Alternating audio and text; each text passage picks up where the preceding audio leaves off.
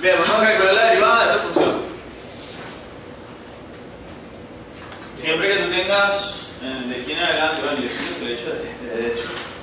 Siempre que tengas un ejercicio, analízalo antes de empezar a hacer locura. ¿no? Tú podrías decir, si quisieras, que al tener aquí una división, en el numerador y en el denominador tienes dos funciones distintas.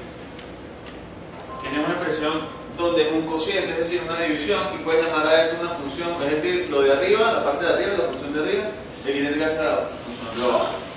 Por tener una división, y si tú quieres la derivada, aplicaríamos entonces la derivada de lo que es una división. Si quiero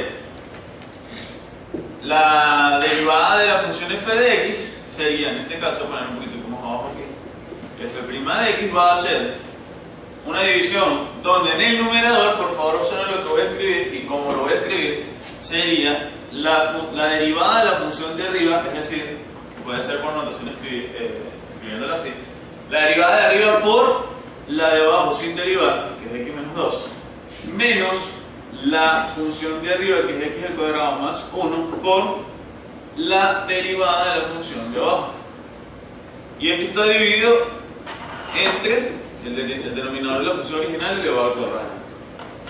¿Okay? Ahora,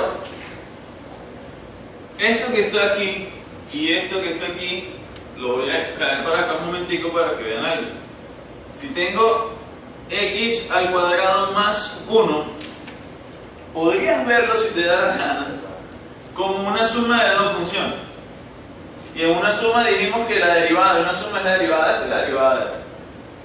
Entonces, si yo quiero la derivada de una suma sería derivar este pana más la derivada de este pana. 1 es una constante. La derivada de una constante 0. Y la derivada de esto, nosotros dijimos que agarramos el exponente y lo bajamos a multiplicar.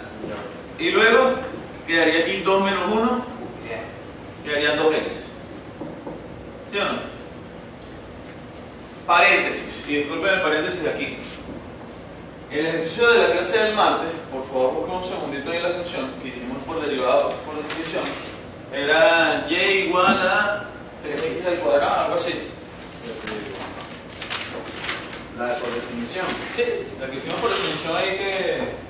Era- vean, eh, x al cuadrado. X al cuadrado más 3x menos x al cuadrado. 1. Más 3x menos 1. Parémoslo aquí, por favor. Nosotros cuando hicimos la derivada por definición nos dio un resultado al final random. ¿De acuerdo? Cuando hicimos el límite, cuando x tiende a, cuando h tiende a 0, bla, bla, bla, no sé qué, nos dio un resultado. Y el resultado, si lo buscan en su cuaderno, era 2x más 3. ¿Sí o no? Sí. Bueno, ¿quién es la derivada de esto? 2x. 2x. ¿Sí o no? Con estas técnicas de hoy. ¿Quién es la derivada de esto? 3. ¿Sí o no?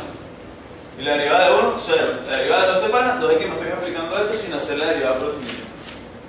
Entonces vean que al final es un paso directo sin necesidad de aquel de aquella demostración. Paréntesis cerrado. Seguimos aquí. Ahora, ya tenemos la derivada de este pana que es 2x. Y la derivada de x menos 2, que es el siguiente, sería agarrar la x y derivarla y luego, por ser una resta, la derivada del 2.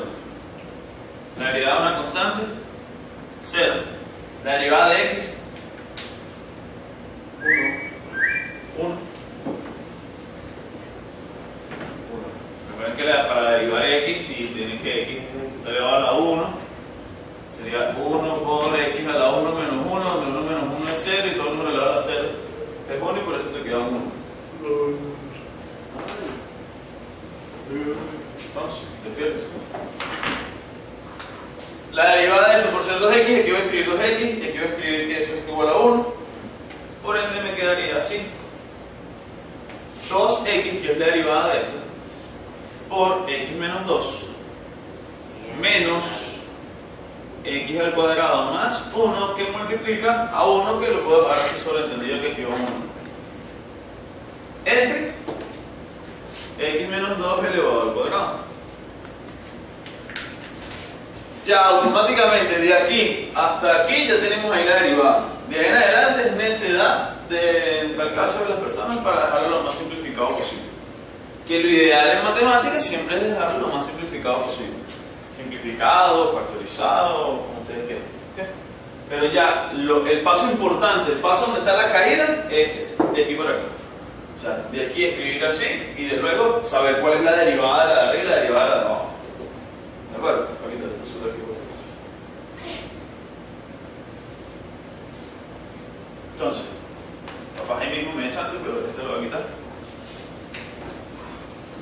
Si quiero trabajar esto aquí, este menos que está aquí enfrente me cambia el signo de este y de este. Y este 2x multiplica distributivamente, quedando 2x al cuadrado menos 4x. Aquí sería menos x al cuadrado menos 1 sobre x menos 2 elevado al cuadrado. Por último podemos decir que la derivada de la función que nos están preguntando sería 2x al cuadrado menos x al cuadrado, x al cuadrado positivo, menos 4x menos 1 sobre x menos 2 elevado al cuadrado.